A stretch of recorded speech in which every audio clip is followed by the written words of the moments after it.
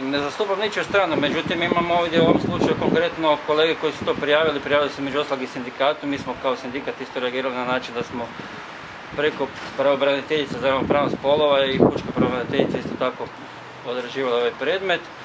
A s druge strane, e, moji članovi su, znači članovi sindikata policijskih službenika su prijavili i žrtve su i zapravo svjedoci ovog događaja. I inkriminacija koja se stavlja na teret načelniku nije samo seksualno uznemiravanje, još postoji inkriminacija koja se odnosi na zlouporabu položaja ovlasti. U pitanju su nekakvi stranci koji su pušteni preko državne granice. A ta inkriminacija zapravo za sobom vuče ne ono diskrecijsko pravo koje načelnik uprave se pozvao na njega da može, odnosno ne mora udaljiti službe, nego je morao udaljiti.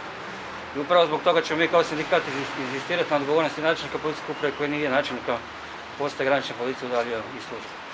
A i sama činjenica kakva je to poanta poruka ovim žrtvama koji su prijavili, ako vi držite čovjeka da i dalje bude rukovoditelj tim žrtvama i oni bi sad trebali tu svjedočiti i brinuti se kako će sutra završiti.